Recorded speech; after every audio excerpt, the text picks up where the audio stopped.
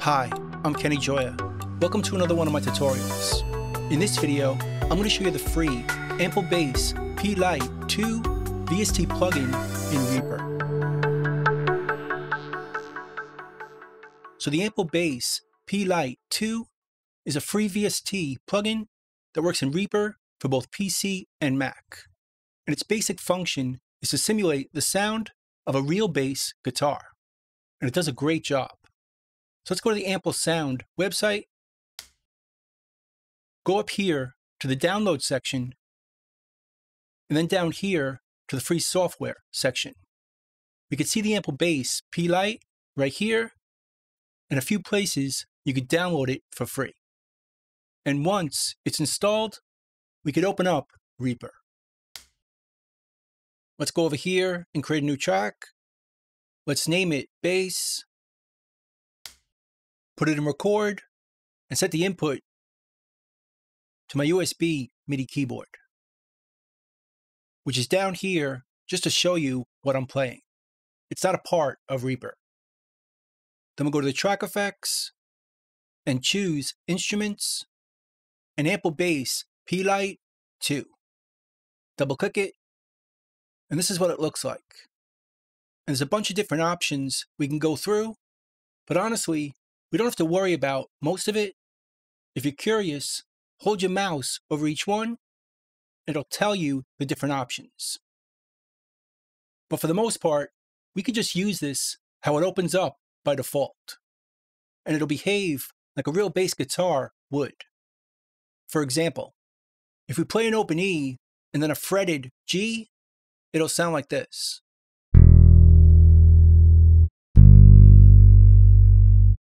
The notes are completely separate. But if we hold down that open E while we hit that fretted G, it sounds like this. Notice it creates a hammer-on, which is naturally what would happen if a bass guitar player was playing it and pushing down that open string on a fret.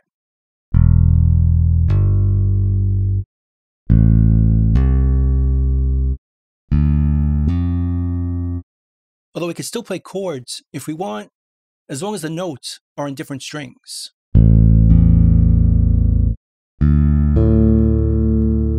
Otherwise, the second note will cut off the first.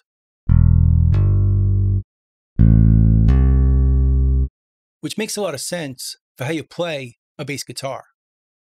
But for this video, I want to focus on these three main areas. This first one in blue is where we're going to play our bass guitar notes.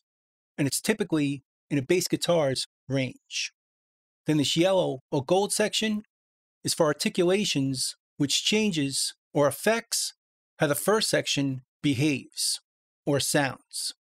Then the third section is for creating noises or bass guitar noises. So the first articulation we're going to check out is buzz. Let's play a high E Now it's hit it again along with the C4 key.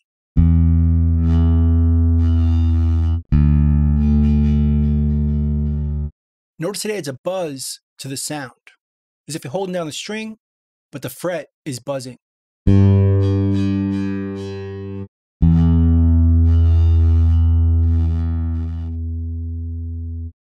In this next option, we add a descending fourth right after the note we hit.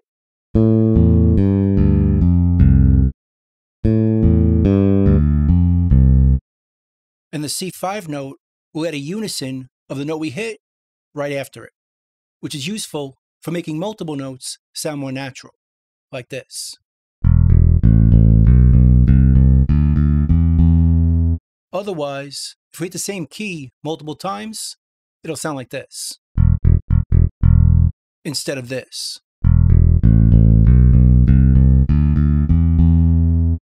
Which is similar to these two notes over here single note repeat to make it easier to play double or triple notes.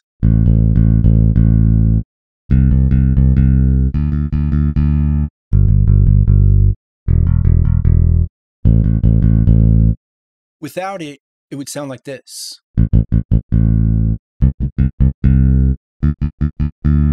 Instead of more naturally like this.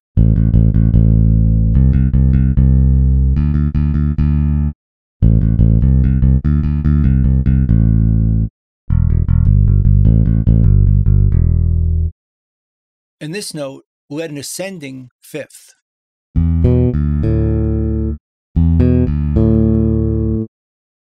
And this note, an ascending octave. Next, we have some noises like scratch 1 and scratch 2.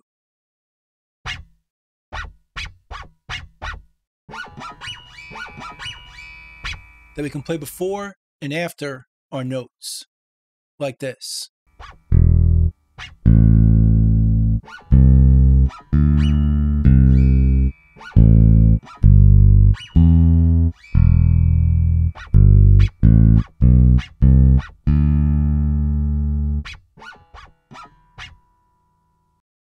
Then we have an accentuation noise, which sounds like this,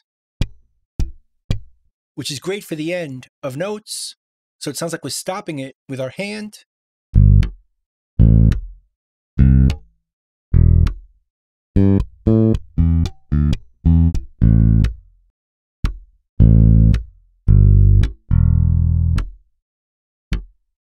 Then we have slap left and slap right.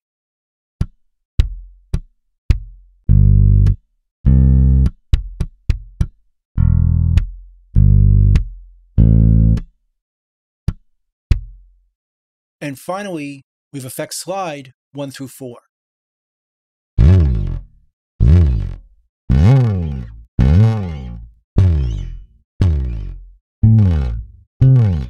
So we could slide into certain notes.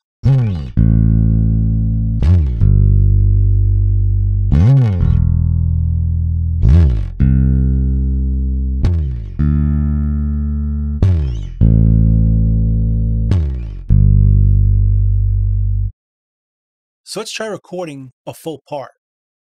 Now, typically, I would just play down here in this section all the notes I want, and then add in the articulations and the noises later.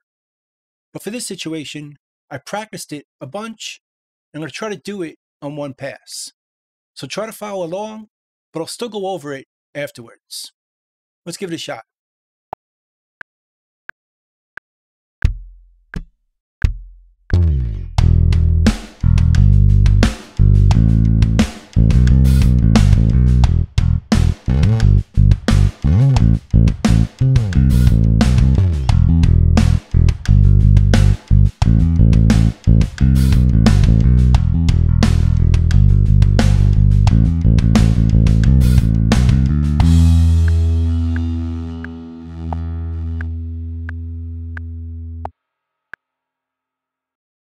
Close this. And here's the part we recorded. Down here are the notes, and up here are the articulations and noises. Let's solo it. and Let's open up the MIDI editor by double clicking the item. Once again, these are the notes, and it starts off with some noises. Then it plays some notes with the noises.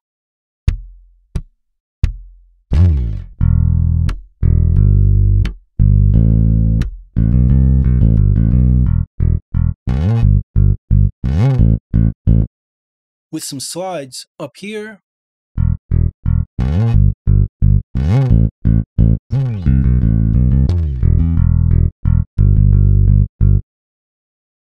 Notice these notes are just repeating the lower ones to sound more natural.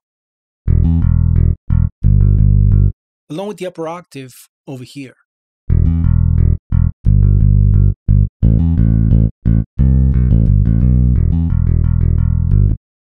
And 16th notes over here.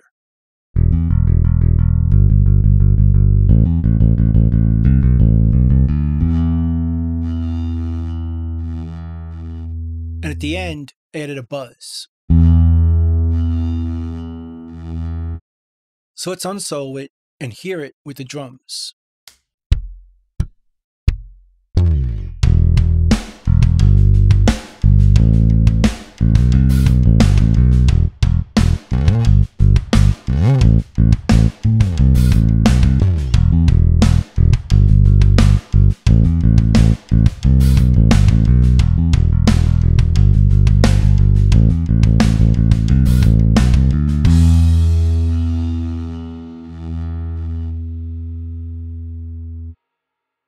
So as you can see, by adding in the articulations and the noises, we can get a very natural sound from this bass plugin.